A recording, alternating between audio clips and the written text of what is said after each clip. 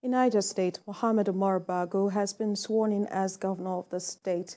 Umar Bago becomes the fourth executive governor of Niger State since the country's return to democracy. Chinemi Bameyi reports. It was a historic moment for Nigeria's biggest state. People thronged into this arena in the early hours of today to witness the swearing-in ceremony of the new governor of Niger State. They believe his election is a renewal of hope for the people. Umaru Bago and his deputy Yakubu Garba emerged as winners after the March 2023 gubernatorial elections. While giving his inaugural speech, the newly sworn-in governor promised to address the issues of insecurity, which has plagued the state for more than half a decade. We shall pay serious attention to the following. One, security.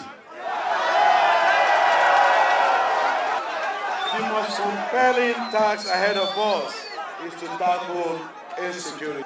We shall also address the challenges of basic education, make it free, compulsory. We cannot be warehousing for GENCOs. The outgoing governor Abubakar Sani Bello was represented by his deputy, Ahmed Ketso. Among dignitaries present at the ceremony was the former governor of Niger State, Muazu Babangida Aliyu, former Speaker of the House of Representatives, Yakubu Dogara.